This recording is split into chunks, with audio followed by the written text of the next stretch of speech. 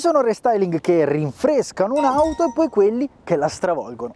Lo so, potrebbe non sembrare, ma la Jaguar E-Pace del 2021 fa parte di questa seconda categoria perché cambia persino la piattaforma che adesso può ospitare dei powertrain elettrificati come il plug-in di questa prova. Vediamo perché comprarla e perché no. Fuori com'è.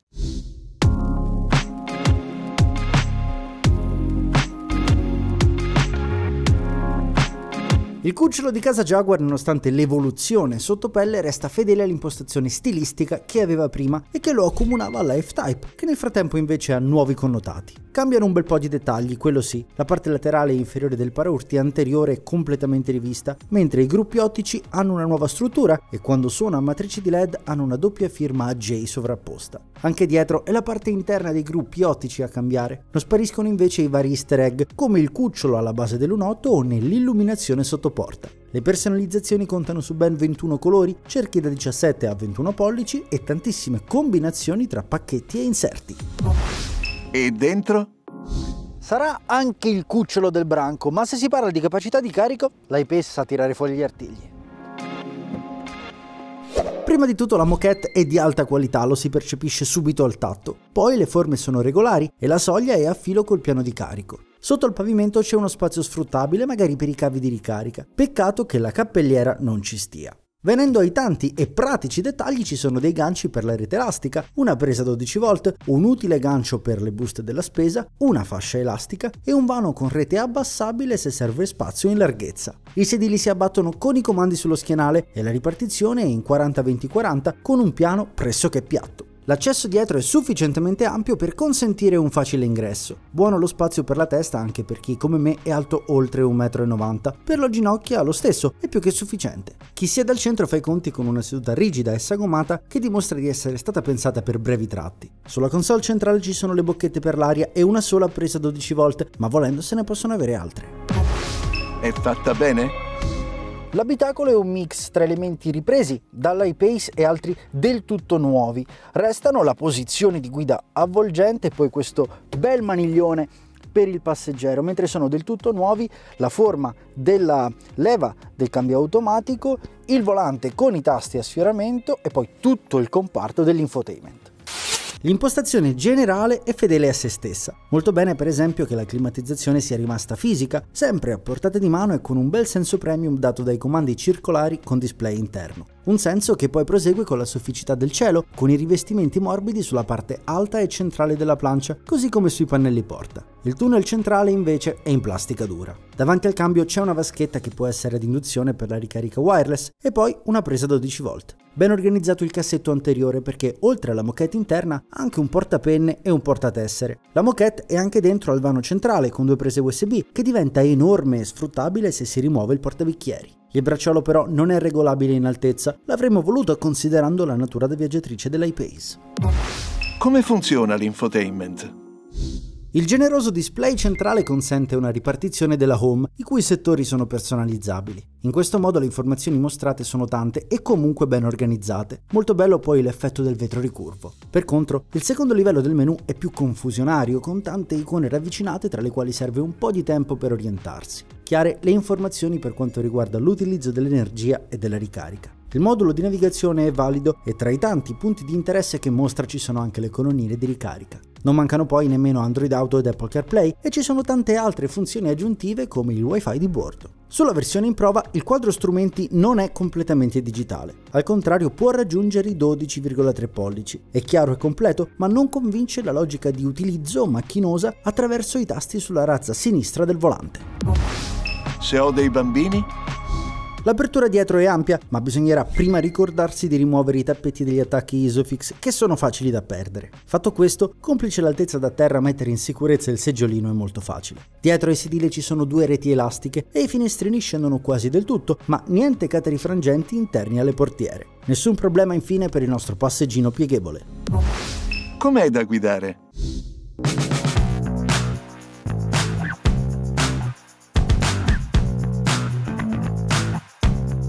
Come ho anticipato sto guidando la versione plug-in della e-Pace, quindi quella ibrida ricaricabile da una presa di corrente. Il suo powertrain è costituito da un motore a benzina 3 cilindri 1500 da 200 cavalli e poi da un motore elettrico per un totale di 309 cavalli e 540 Nm di coppia massima che danno alla e-Pace plug-in il primato nello 0-100 rispetto a tutte le altre versioni della gamma, ci vogliono soltanto 6 secondi e 5. In più con il motore elettrico posizionato sulla sale posteriore la trazione è integrale e con la gestione elettronica della coppia tra avantreno e retrotreno in curva la e-Pace ha un comportamento molto molto valido. Ha un'elevata tenuta di strada il grip è tanto e poi ancora non si corica di lato e il rollio è ben smorzato da questo punto di vista fa la sua parte anche lo sterzo che sì, è piuttosto filtrato ma comunque rapido e preciso e anche molto leggero in manovra, quindi ci si fa amicizia subito e volentieri. La E-Pace insomma scivola tra le curve, che è un piacere grazie alla sua erogazione veloce, corposa, lineare e poi al baricentro che è ribassato grazie all'integrazione del pacco batteria da 15 kWh nel pavimento. Il limite piuttosto è rappresentato dal peso sul misto stretto veloce perché parliamo di circa 2100 kg che si fanno sentire nei cambi di direzione più rapidi oppure quando bisogna calcolare gli spazi di frenata. Il cambio automatico è un 8 rapporti che si può usare sia in modalità sport che attraverso i paddle al volante ma in generale la sua taratura è più votata al comfort che alla rapidità di cambiata. A proposito ci sono varie modalità di guida tra cui scegliere, quelle classiche, Eco, Comfort per la città oppure Dynamic o ancora le modalità per il powertrain elettrificato nello specifico e quindi la guida 100% elettrica, quella ibrida oppure la modalità Save per conservare una determinata carica della batteria. La visibilità è abbastanza buona, diciamo che i montanti anteriori si allargano alla base ma più in generale la superficie vetrata non è tanto estesa. Il lunotto è risicato ma comunque sono ottime di altissimo livello le telecamere perimetrali con ricostruzione 3D. Con i cerchi da 18 pollici in prova l'assorbimento è buono, però personalmente penso che con questi pneumatici 255 con spalla 60 la e-Pace non sia valorizzata da un punto di vista estetico e allora opterei per quelli da 19 o da 20, potendo però con il controllo elettronico dell'assetto per evitare che poi diventi troppo rigido. Buona l'insonorizzazione per quanto riguarda i frusci aerodinamici, mentre il 3 cilindri quando è acceso si fa sentire.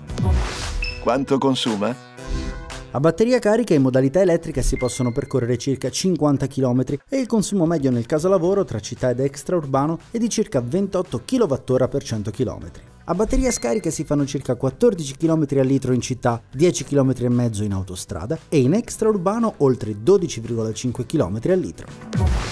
Come si ricarica? La capacità della batteria agli ioni di litio è di 15 kWh e il limite di capacità di assorbimento è di 7,4 kW in corrente alternata, ma la e-Pace è tra le poche ad offrire anche la ricarica fino a 50 kW in corrente continua nella sua categoria. Prendiamo il caso di una ricarica completa a casa con un contatore elettrico da 3 kW. Si tratta di un valore che però non viene dedicato solo all'auto ma anche agli elettrodomestici, quindi il tempo richiesto per una ricarica dallo 0 al 100% è di circa 6 ore e mezza, collegandosi ad una normale presa tipica domestica da 2,3 kW. Facendo invece un upgrade dell'impianto domestico a 6 kW e passando ad una wallbox che tipicamente assorbe 4,5 kW, servono circa 3 ore e 10 con un ulteriore incremento della potenza del contatore di casa oppure collegandosi a delle colonnine pubbliche a corrente alternata si possono sfruttare tutti i 7,4 kW di potenza del caricatore di bordo per riempire la batteria da 0 a 100% in circa 2 ore. Sfruttando invece la ricarica a corrente continua servono 18 minuti. E la sicurezza? Prima dell'aggiornamento l'Euro NCAP ha assegnato alla ePace le 5 stelle nei crash test. La dotazione di dispositivi di ausilio alla guida va ampliata a parte. Per esempio sulla versione che sto guidando io ho solamente, diciamo così, il riconoscimento dei segnali stradali, il mantenitore attivo di corsia che mi è piaciuto molto nella sua taratura di intervento perché impartisce sullo sterzo dei comandi che sono molto decisi, quindi trasmette un bel senso di sicurezza ma allo stesso tempo naturali. E poi il cruise control che non è di tipo adattivo ma che si aziona facilmente con i tasti sulla razza destra del volante. La dotazione va ampliata a parte, dicevo, per quanto riguarda i dispositivi più avanzati, così come per i fari a matrice di LED. Ecco però su un'auto di questo calibro perlomeno il semplice meccanismo di automatismo tra abbagliante e inabbagliante l'avrei voluto di serie. Quanto costa? Si parte da 39.750 euro per il 2000 turbo diesel con cambio manuale e trazione anteriore. Per passare al mild hybrid 4x4 con l'automatico e allo step di potenza successivo da 200 cavalli servono rispettivamente 45.000 e 48.000 euro. Il 1.3 turbo benzina 3 cilindri da 160 cavalli parte da 40.000 euro, costa 45.000 con 200 cavalli e arriva a 49.500 con la potenza più alta di 250 cavalli. A parità di motorizzazione salendo tra le tre versioni disponibili il prezzo può salire di 10.000 euro, ma poi ci sono i vari allestimenti. La più sportiva 300 Sport col 2004 cilindri da 300 cavalli parte da 66.500 euro, la plug-in invece da 58.700 euro, ma quella che avete visto ne costa 62.000. Accessori consigliati?